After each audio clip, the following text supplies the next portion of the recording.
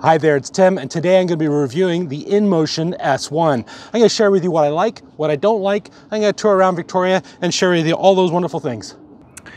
So the InMotion S1 has a 500 watt motor at the back, and the battery is 675 watt hours, and that's right there in the deck.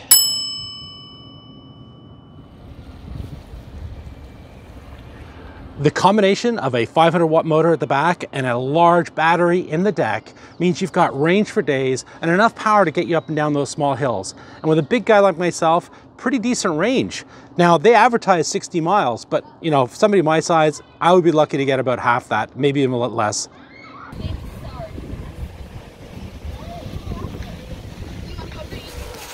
One of the things I really like are the 10 inch tires.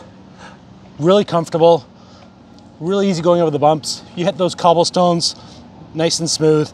That coupled with the really nice shocks, big shocks at the front, and the flexibility, oh, love it.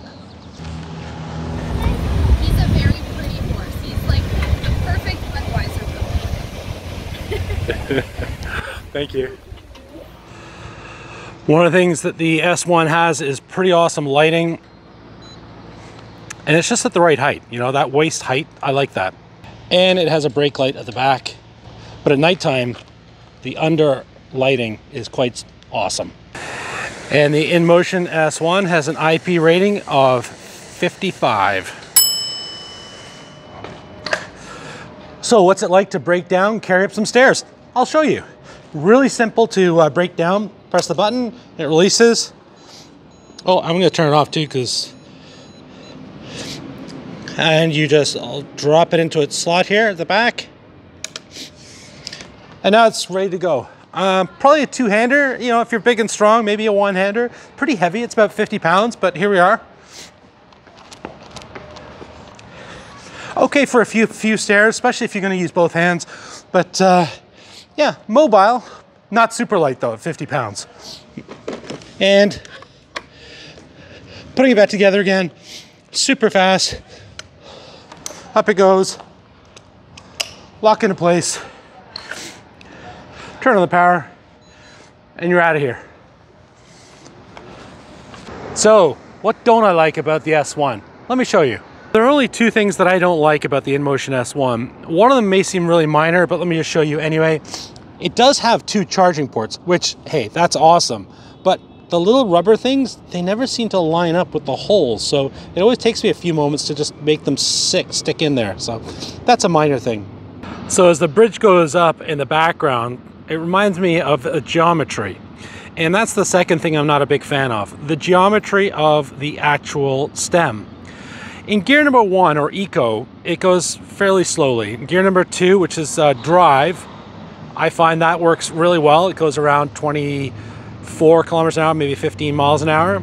And gear number three, about another five miles an hour faster. But what I have noticed is that in gear number three, the speed, I get a little bit of a wobble. And I think that's because of the geometry of the, of the actual scooter itself. So what I tend to do is I tend to ride it in gear number two or just regular drive, and I have absolutely no problems whatsoever. So those are the only two things while I mentioned the things I didn't like about the uh, InMotion S1, I do want to share with you that there are a whole bunch of things I really like about it. Let's sit down and have a chat about it. So, what do I like about the InMotion S1? I like a lot of things about it. I love the battery size. A nice big battery really helps with range, range anxiety even. Number two, I like the tires. They're 10 inch, they're pneumatic, but they're tubeless. And I've already had the experience of having a flat. And I gotta tell you, having a flat with tubeless tires is so much easier. It took me about three or four minutes to fix it, no problem. I didn't have to take the tire off the wheel, none of that stuff. Love that.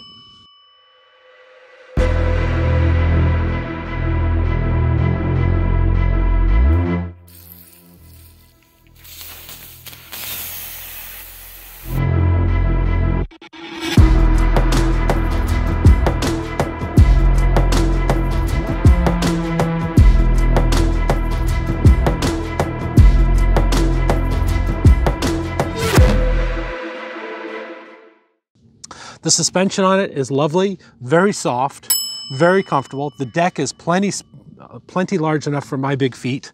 Um, the folding mechanism, uh, it works. Um, it's a bit heavy. As I said, it's about 50 pounds, but uh, having two chargers or two charging ports, that's kind of nice. So if you have two charging bricks, you can, you know, double the speed at which you are charging. The last thing is the app. The app's actually really good too. Uh, it shares with you things, you know, details about the, the unit, how far it's gone, those sorts of things. Uh, and it gives you a really accurate um, portrayal of how much battery life there is left. So I like that. Uh, the handlebars, the handle grips were very comfortable. It has um, drum brake at the front and uh, regen braking at the back, which was completely adequate. Uh, had no issues whatsoever with that. Uh, I know I mentioned that the, the, it had a little bit of a wiggle. I was just riding around right now and trying out the sport mode. It's not such a big deal. I mean, it's it's a little bit unstable um, if you're going down a hill a bit too quickly, but uh, overall, not a big deal really. A little bell up top. I'm actually really happy with it. Um, I think if you're looking, if you're a big guy like myself, you don't have a whole lot of hills, then I think the power in this motor, plenty. The battery's gonna give you that peace of mind. I'm really happy with it. So the S1, definitely big guy approved.